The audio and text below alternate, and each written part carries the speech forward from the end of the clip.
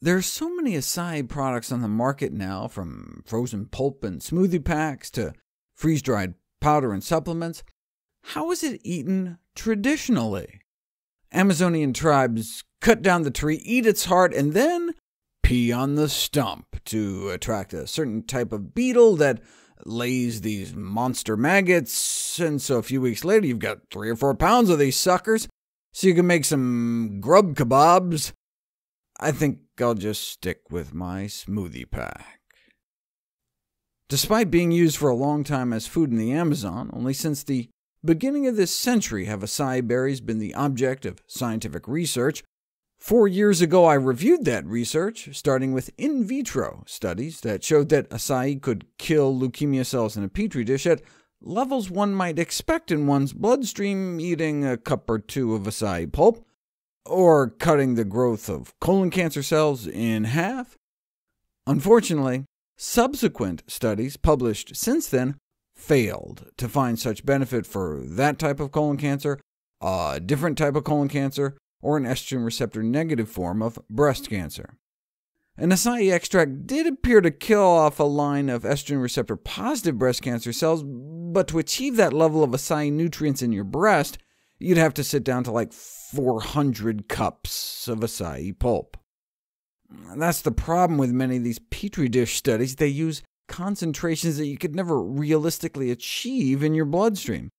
For example, acai berries may exert a neuroprotective effect, blocking the buildup of amyloid fibers implicated in Alzheimer's, but only at a dose reached, drinking maybe 2,000 cups at a time. Or have an anti-allergy effect, or decrease bone loss at a mere 1,000 cups a day. But I also talked about a clinical study in which folks were asked to drink less than a cup a day of acai in a smoothie, and appeared to get significant improvements in blood sugar and insulin levels and cholesterol. Uh, now, there was no control group, and it was a small study, uh, but there'd never been a bigger study to try to replicate it until now. Same amount of acai for the same duration, but no significant improvements in blood sugars, insulin, or cholesterol. Huh. Why did this study fail to show the benefits seen in the first study? Well, this study was publicly funded, no conflicts of interest, whereas the first study was funded by an acai company, which always makes you suspect that maybe the study was somehow designed to get the desired result. And indeed, the study participants were not just given acai smoothies, but explicitly told to avoid processed meat, like bacon and hot dogs, uh, no wonder their numbers looked better at the end of the month. Now, the new study did find a decrease in markers of oxidative stress in the participants' bloodstream, a sign of how antioxidant-rich acai berries can be. Those that hawk supplements love to talk about how acai consumption can triple antioxidant capacity. Triple the antioxidant capacity of your blood.